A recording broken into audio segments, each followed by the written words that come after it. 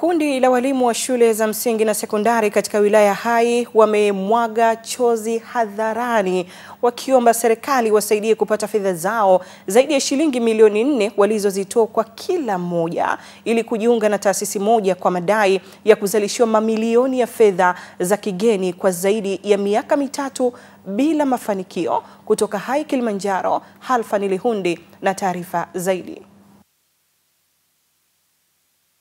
Wakieleza mkasa huo, walimu kutoka shule za msingi na sekondari wilaya ya Hai mbele ya kamati ya ulinzi na usalama ikiongozwa na mkuu wa wilaya hiyo Lengai Ole Sabaya, huku wakitokwa na machozi kwa adha wanayoipata baada ya matamanio yao ya kuwa mabilionea kwenda kombo. Walimu wao wanaeleza wanavyoteseka na wengine kudai kupatiwa taraka kutokana na mkasa wa fedha hizo.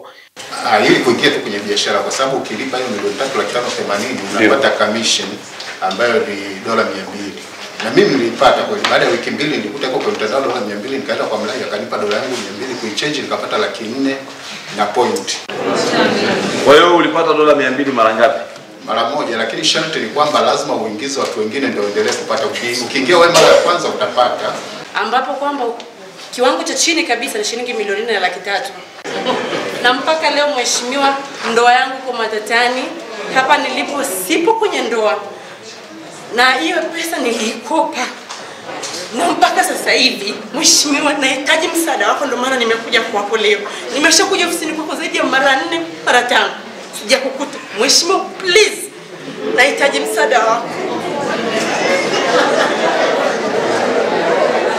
Baada ya kusikia vilio vya walimu, mkuu wa wilaya ya Hai Lengai Ole Sabaya anataka ufafanuzi kutoka kwa mmoja wanaodaiwa kuwa ni wakala wa mtandao huo ambao kwa simu iliyopigwa kwa mkurugenzi wa BRELA alidai kutotambua usajili wake, na hivi ndivyo ilivyokuwa.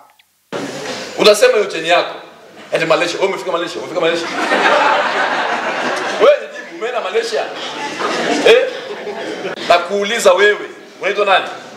Mmesajiliwa BRELA, QNet imesajiliwa BRELA. imesajiliwa BRELA na TFDA pia inatambulika. TFDA madawa na chakula inahusiana nini na hela?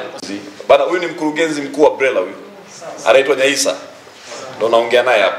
Bana, nilikuwa nakuomba ufafanuzi mdogo tu. Hii hii kuna kampuni taasisi inaitwa QNet, unaifahamu? Yeah, QNet, QNet, QNet kwa maana kuifahamu kama BRELA kuifahamu.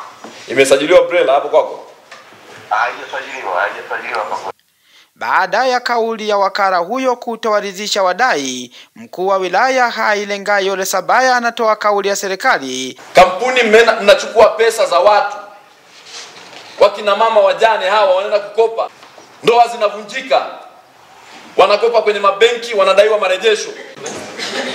OCD, vyombo vingine vya dola nimewapa watu wenu, kamateni huyu mtu, wekeni ndani.